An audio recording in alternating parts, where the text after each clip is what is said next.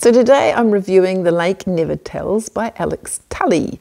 Now, this is a young adult book, but it's not one of those young adult books that are really juvenile. It's about teenagers, but the themes that it deals with are universal themes. And basically, it's about two kids from very different backgrounds. So one's a really rich kid, a shy guy, and the other is an outgoing girl from a caravan park who you know who lives in a, a trailer park, and that trailer park is on the side of a beautiful lake. The lake never tells.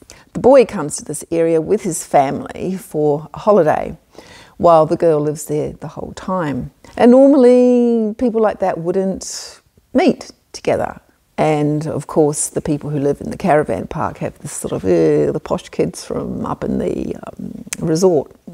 But in this instance, these two do meet, and it's very interesting how the differences in their background become basically meaningless.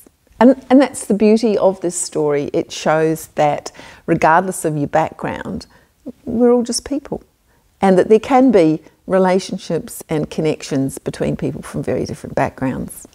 What keeps you reading in this story is a murder mystery. So, a body is found floating in the lake and happens to be a guy that nobody likes. So, lots of reasons why people might want to actually kill him.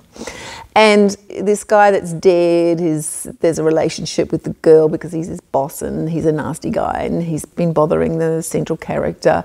So there's certain fears that, oh, maybe they'll think that I did it. It's, you know, a genuine mystery, and I couldn't work out who had actually done it. Anyway, it is a good story. It's really, really well written. Um, so, you know, for any author who wants to study good writing, this is one of those books. Alex Tully is an established writer and one of those people that you might want to read more books from. Uh, Hope for Garbage is one she's well known for, and that's another really excellent young adult book. So, highly recommended. Another five out of five stars for this one.